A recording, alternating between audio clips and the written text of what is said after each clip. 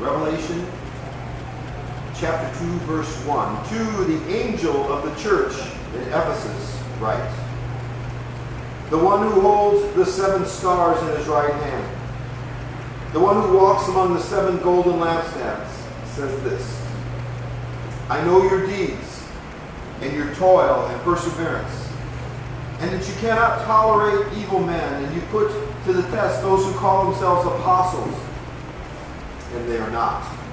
And you found them to be false.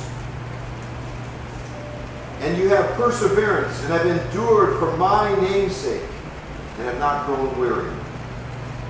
But I have this against you. You have left your first love. Therefore, remember from where you have fallen, and repent, and do the deeds you did at first, or else I am coming to you, and will remove your lampstand out of its place, unless you repent. Yet this you do have, that you hate the deeds of the Nicolaitans, which I also hate. He who has an ear, let him hear what the Spirit says to the churches. To him who overcomes, I will grant to eat of the tree of life, which is in the paradise of God. Lord, this is your word. And Jesus, those are your words, specifically written to us today, to the church then, to the churches of all time, Lord. So we ask that you would minister your word to our hearts. Give us something to apply in our lives. In Jesus' name we pray. Amen.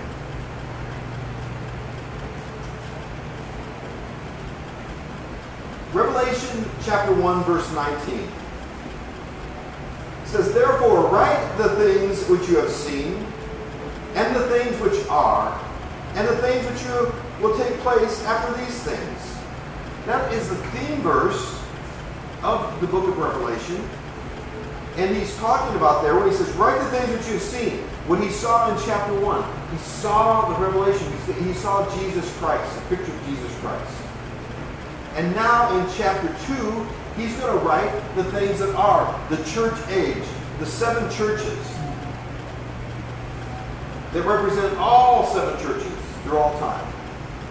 And then when you get to chapter 4, because 2 and 3 are the church, the things that are. Now, chapter 4 is the things that are to come. So the seven churches are those that are. He writes his first letter to this church.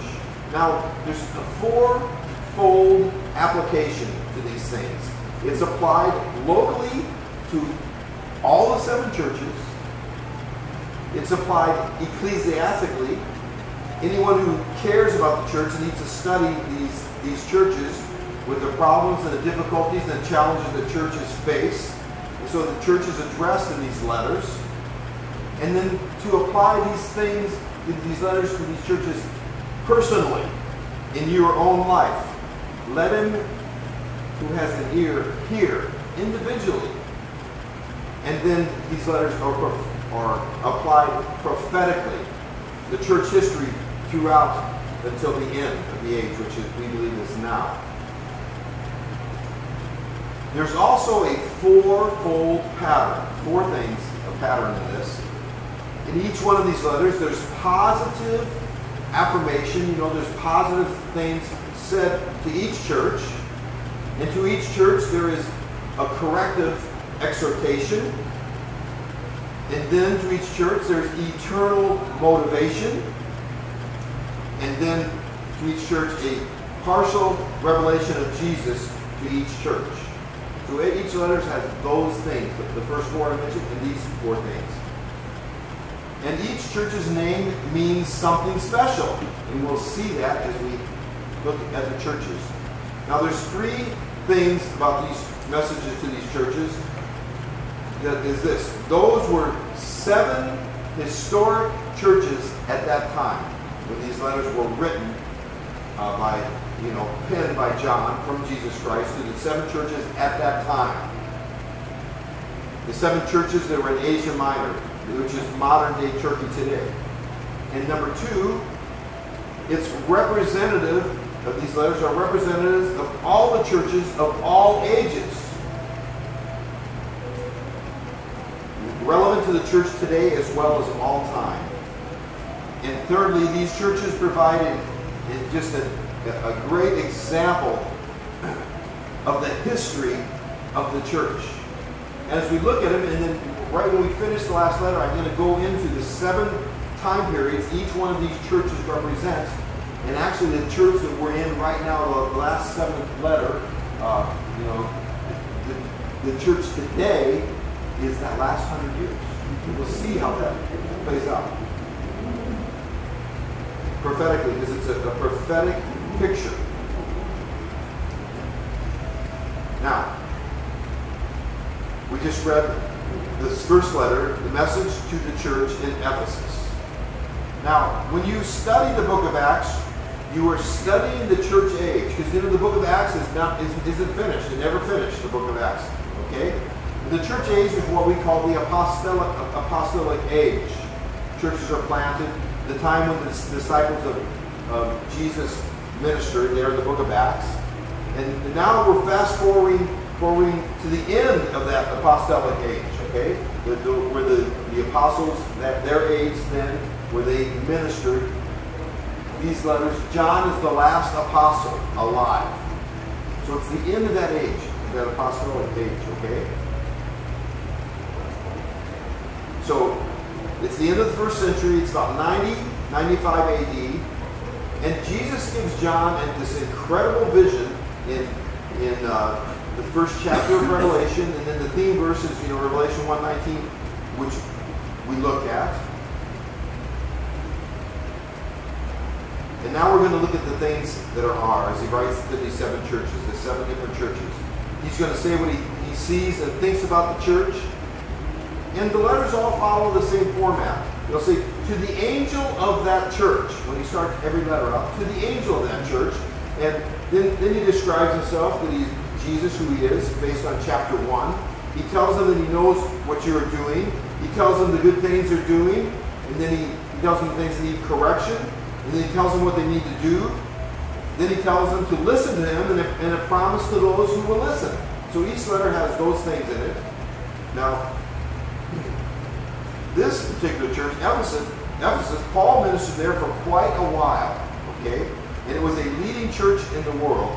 So he starts off there in verse 1. He says, To the angel of the church of Ephesus, Ephesus write these, write, these things says he who holds the seven stars in his right hand who walks in the midst of the seven golden lampstands. Now we see in the last verse in chapter 1 what that means. When you read the last verse, it says, As for the mystery of the seven stars which you saw in my, in my right hand, and the seven golden lampstands, the seven stars are the angels of the seven churches, and the seven lampstands are the seven churches. So we see what he what he's talking about right there. This, you know, the explanation is right in the Bible. And then when he says to the angel, you look at this, does this mean that each church has an angel? Well, you know, maybe not. You see, the word angel means messenger. So to the to the angel of this church, it, it, means a message. It could be a man, it could be a pastor, it could be a leader of the church, or it could be an angel that he gives this message to. Now, it's a very serious position to be in, the one who's going to give this message to the church. You know, that's uh, a serious place to be when, when you're sharing the things of the Lord.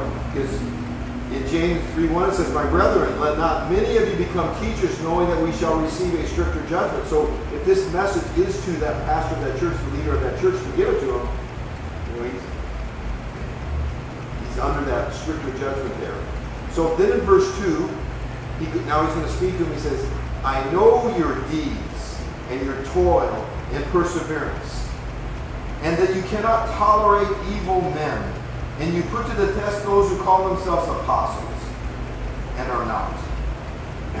And you found them to be false. You know, Jesus sees everything. And so what he's saying there is, you know, I know your deeds. And he tells of the good qualities that, you know, they're toil, that they persevere, that they, they have patience, that they're hardworking believers. If you notice here, when he says this, I know your deeds and your toil and perseverance. You know, when you read this, you go, know something about this. Jesus knows that it is that they are hard-working believers. The ministry isn't easy. Being a believer in Jesus Christ and serving the Lord Jesus Christ, it is, it is not something fun to do in spare, your spare time. It's hard, but it also should be joyous as you do it. But it's hard work. I can tell you that. It is hard work. You know, sometimes, you know, as a pastor, I am wiped out after Sunday mornings, you know, I go home, I remember I take a nap every Sunday. You know, when I miss it, I'm, I'll be on the night, you know. I take, I take a nap. And then Mondays, you know, I take my day off. You know, this fellow named Dihan, he said this one time. He said, to come to Christ costs you nothing. To follow Christ costs you something. To serve Christ costs you everything. So Jesus says that he takes note of it. He sees. He understands. You know, when you're serving the Lord and you're being persecuted and you're working and you're just, you know, sharing the things of Jesus, Jesus sees. He will reward you. He knows it's hard. And, and he tells him, I know your deeds and your toil and your perseverance, and that you cannot tolerate evil men. And you put to test those. You know, he, he tests. It must be people who read the Word and understand the Word and put to test those who call themselves apostles. I mean, we should do that today. You know the Bible says in Matthew 10 39, He who finds his life will lose it, and he who loses his life for my sake will find it. And this is a church that you can see can do that. And, and when you serve the Lord, it says in Matthew 10 42, and whoever gives one of these little ones only a cup of cold water in the name of a disciple, assuredly I say to you, he shall by no means lose his reward. Jesus sees. He sees that they don't tolerate evil men at the same time. Being pure. They know what it is to be pure. They know what it is to live uprightly. And they don't tolerate evil men. They deal with them. And those who are in the body of Christ, they confront them in love. So you know what? You can be happy. You can live rightly because God knows what's best.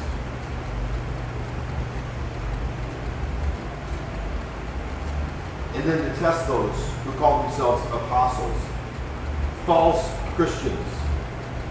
To test them. Are they really of God? You know, I, I shared with you guys before, I, you know, I remember the first apostle, proclaimed apostle I met. 1979 or 1980, I think it was 1980. And this guy came into town and he was apostle, an apostle. And and he expected us to bring him into our houses and feed him and give him a place to live and to take care of him while he went to the beach and worked for the Lord. And he did. But we lived at Lake Tahoe, it's this beautiful place. And, there, and he comes and he goes and lays on the beach. He's working for the Lord. And he expected us to, take care of him because he was an apostle. A special place, a little bit better than everybody else. That special office. Yeah, you know what we told him? We told them to dust, dust the feet up on the outside of our door as you go, go along your way. And we told them also, you know, work you don't need. Amen. But he, you know, it took a little while to get to that point. He hung around, around for, I don't know, a month or two. All summer, I think he was there. Not just accepting it because they quote God's word. Not just accepting it because they say, you need to repent. Thus saith the Lord God. Oh, with the, with, then I remember we had a, you know, people would say this man was a prophet that came. He wrote a lot of good music that we, listen to, and he was doing a concert in a, in a, in a village next to us, or, or you know, about an hour from us. And the people that were in that, that town uh, and in that church, they called us up because they knew that Calvary Chapel Truckee had people in it who were worshipers, who just loved to worship the Lord. And in his town, I guess they, you know, were learning. They really there was not a lot of worshipers. There was a lot of song singers. He called me up and said, "Would you bring your people down from your church to come down and, and worship? You know, just worship the Lord, so our people can just see people doing it. Uh, not that we would do it. We would just worship the Lord and they would see it. We would catch. He wanted to catch on, so we did. We went down there and said, "Come early." And and, and you can hang out with the musician, you know. He was a big, big vineyard worship leader. And everybody knew. And everybody was doing his music. And come to lunch and meet him. And so we did. We went to lunch and we met him and talked to him. He was a nice guy and this and that. And we hung out all day with him and his band. And, you know, it was kind of cool. You know, it was kind of fun. And then that night came and, and then, you know, there was the time of worship. And we, were, we worship the Lord. And then he went into, he was going to prophesy over people. And man, people are just, just, you know, kind of waiting for that word from the Lord. And he came and prophesied over my wife. I think he did it from the pulpit. I'm not sure. How, I can't remember exactly how he did it. But you know, while we were having lunch with him, you know, he learned about our lives. And, and Anna had shared with him, you know, I'm, I'm struggling with, you know, writing songs right now. I just feel like, you know, I'm just, right now, I'm not, not a lot of going on. Something he shared with him. He prophesied. There's a, you know, I can't remember Anna or what. You're, no, I was sitting down. Huh? I was sitting down. You're sitting down and did it from the pulpit. Yeah. I didn't, Huh? I didn't go. No, you didn't go up. No, she didn't go up. He just did it from the pulpit and, and pointed and really pointed her out and said, was she struggling with struggling with uh, this and that? And it made it look like God told her that. People didn't know you know this afternoon. We were like, ooh.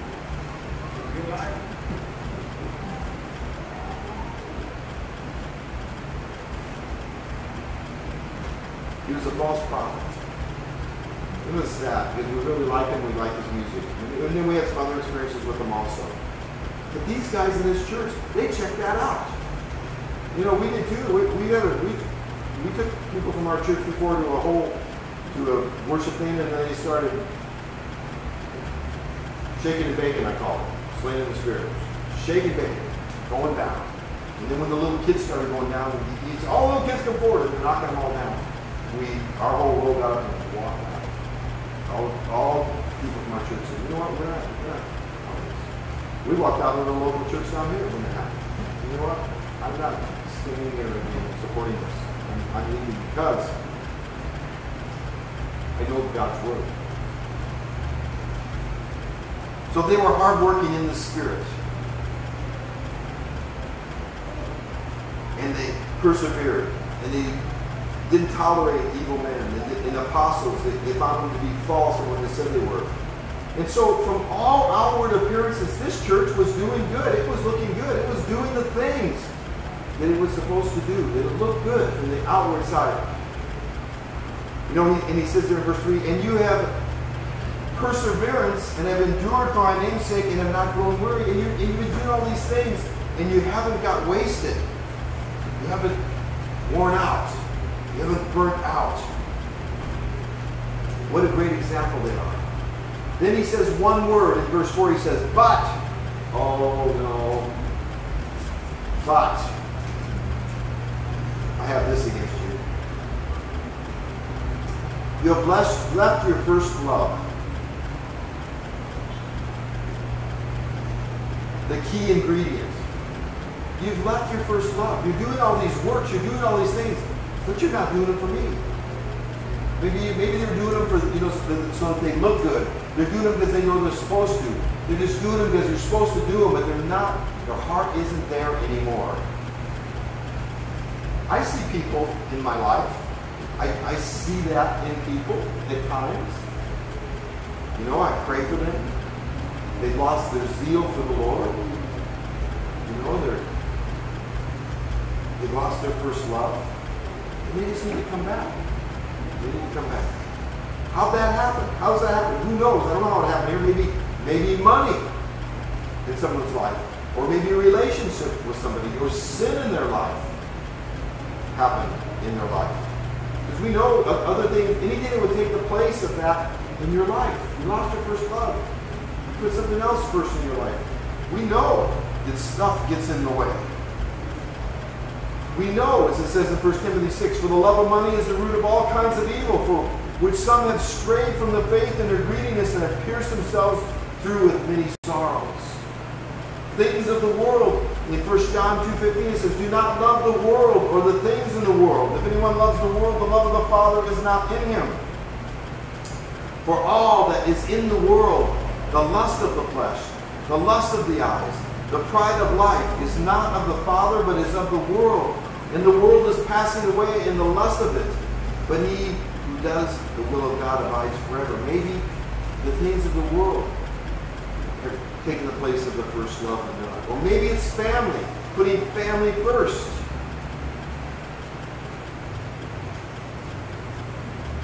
Putting someone before God. A spouse, a loved one, a child, a mother or a father. Put God first. Matthew 10 37, Jesus said it himself He who loves father or mother more than me is not worthy of me. And he who loves son or daughter more than me is not worthy of me. Wow. For those of you in the room who are single, listen to by the inspiration of the Holy Spirit. What Paul says. 1 Corinthians 7 33 and 34, he says, But he who is married cares about the things of the world, how he may please his wife, and the wife her husband. Spouses can be a distraction from the Lord, is what it's saying. Since there's a difference between a wife and a virgin, the unmarried woman cares about the things of the Lord, that she may be holy both in body and in spirit. But she who is married cares about the things of the world, how she may please her husband. Now that's not a bad thing?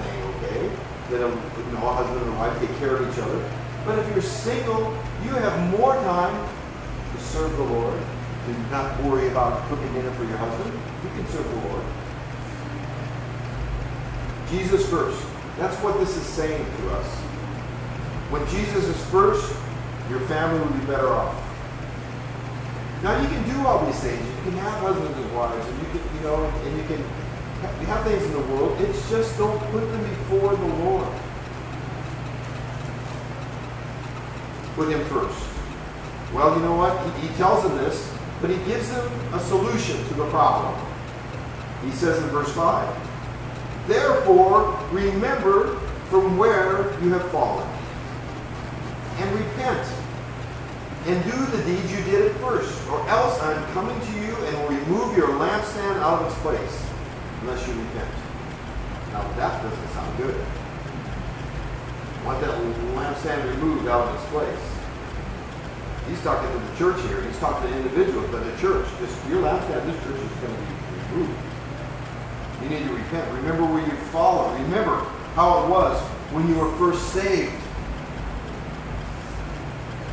Do the first stuff again. Get your eyes off of things. Repent.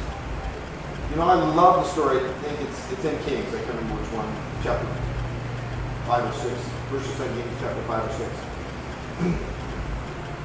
when Elisha was the prophet, and, and the sons of the prophet, you know, they had a school of prophets or something at that time where they all went to school, and it was getting really, really crowded there.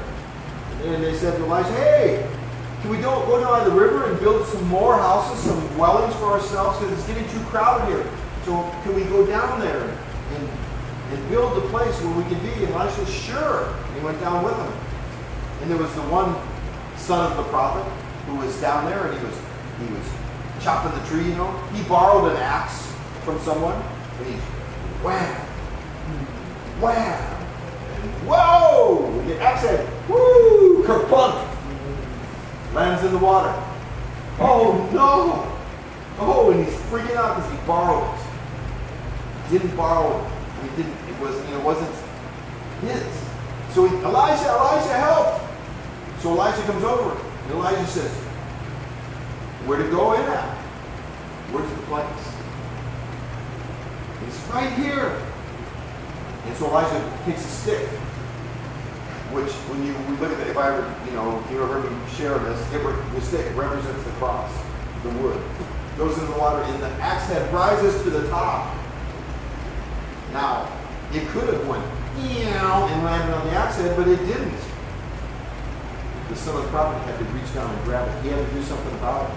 And you know, the the the, the teaching on it that I do is is that axe head is for us represents for us the power of the axe. Like the Holy Spirit is the power in our lives. Something God gives us. You know, it, it, it's not ours. You know, we don't own the Holy Spirit. He owns us. It's a power in our life.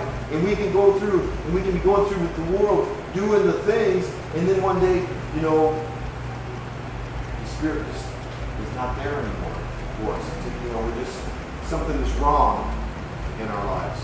Just like the axe head goes, that guy could have taken that axe handle and still run around going boom, boom, and hit, hit, hit trees with that piece of wood, but it wouldn't cut anything. Because that was the cutting edge. Like the Holy Spirit is the cutting edge in our lives. And that, in the prophecy, what happened? Where did it go in? Now, see, he had to know. Those of you who, those of you who, probably most of you don't. We came from the mountains with snow. We chop wood, and when you chop wood, you know when your axe handle is getting loose, and you don't let it fly off. You soak it in water, the wood. You soak it in water, and then you let it dry out. You put a little wedge in it, and when it when it dries out, it, it snugs it up again. You do something about it before it happens. You don't let it just go. And we know that what water represents in the Bible is the Word. To wash yourself in the Word constantly so your access to the Spirit doesn't get dull in your life. You know? Doesn't get dull in your life. And when it when that happens and that power is gone, you need to go back and you need to look what happened, where it happened, what do I need to repent of, so I can get sharp again. And these people lost their first love.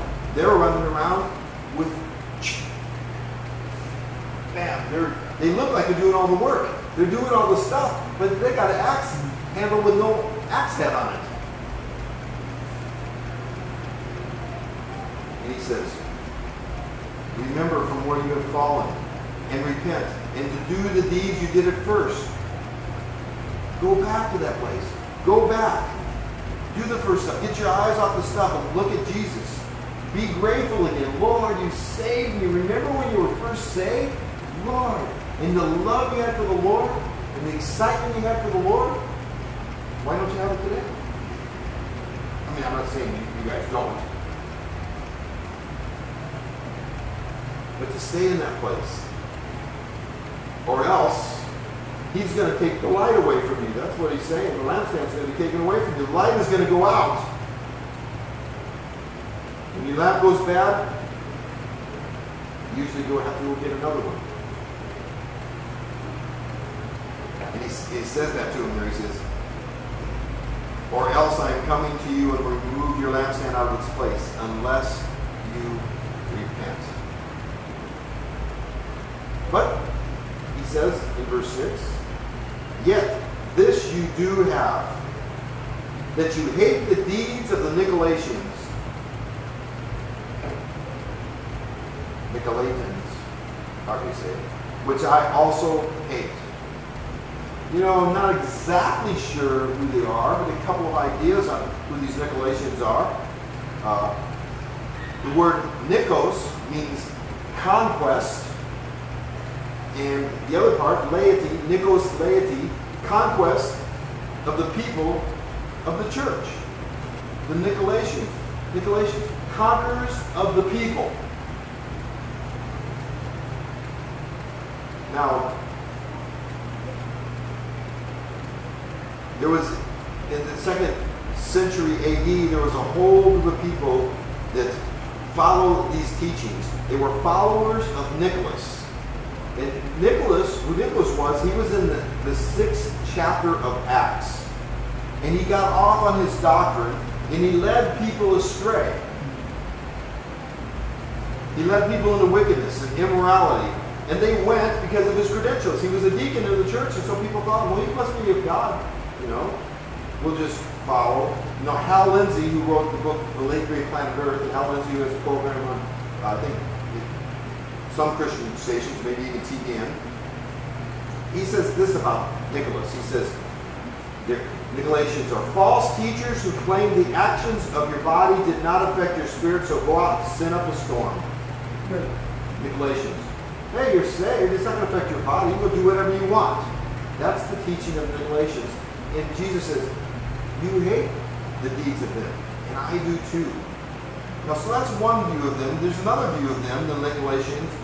Uh, again, conquest of the people is this that maybe it was those people who thought they were more spiritual than other people. Well, I read the word every day at 7, 9, and 11. And I pray for an hour a day. And I have the gift of tongues, and you don't. You know, and, they, and the Nicolaitans were those people that thought they were better than, than other people. I have the gifts, and you don't. You know, you see that today. You know, I, I remember as a younger Christian, you know, there was, there was ministries out there. If you didn't have to get the tongues, well, maybe you're not saved. And there was that, that air of, well, we're a little better. You need to get the gift. You know, I remember the people praying for, I had the gift of tongues before I met these people, so for me, but I watched people that didn't have the gift of tongues feel belittled with people standing over there praying, you know, shaking. Hey, just say, just just let your tongue go, you know, do all this stuff. And, you know, my friends, I, I had a couple friends that just made noises to keep people off the back. boo, boo, boo, boo. See, you got the gift, you got the gift, you know. And I talked to them later, I, I don't have the gift. I just said it because they're freaking me out. happens all the time. You, you say anything, you get them off your back. Because they don't, they don't give up, and you need to have the gift. You're, you're not filled with the Spirit unless you have the gift of tongues. Billy Graham never had the gift of tongues. And I got led more people to Lord than anybody I know. I mean, even Paul and, we, and we, everybody, you know. Billy Graham didn't have the gift of tongues. So he wasn't filled with the Spirit. Maybe he wasn't even saved. Right, right.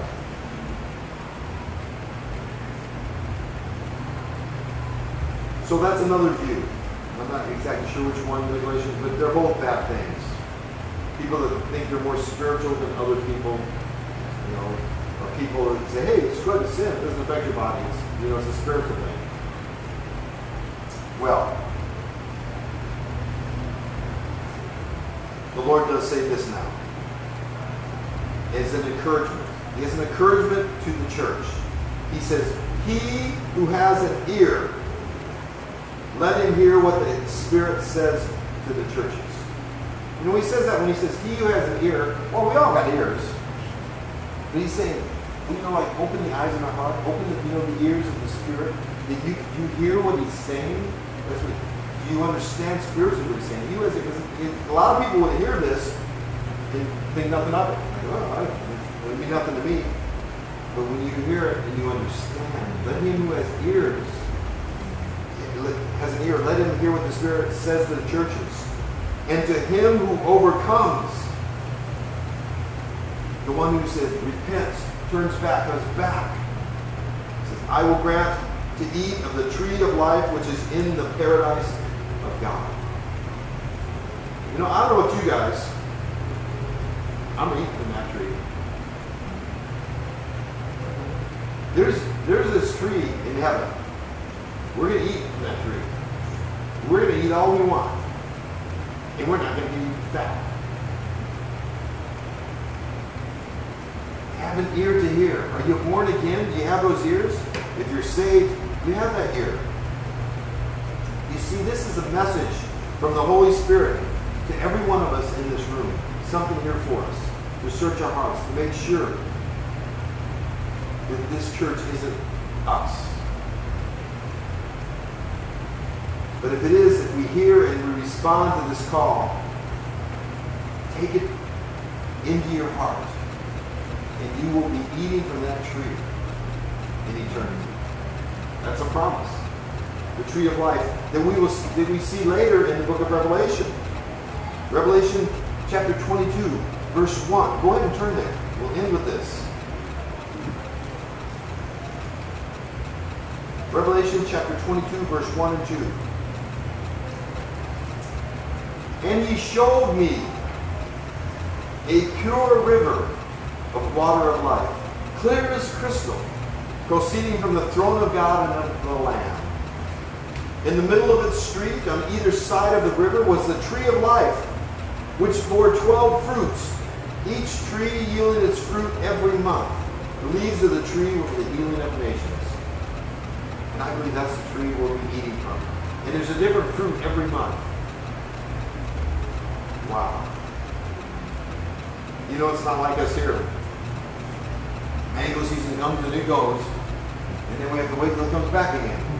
And it'll be mangoes one month, it'll be bananas one month, it'll be, you know what I mean? I don't know what it is there. It- it- Whatever fruits there is going to be.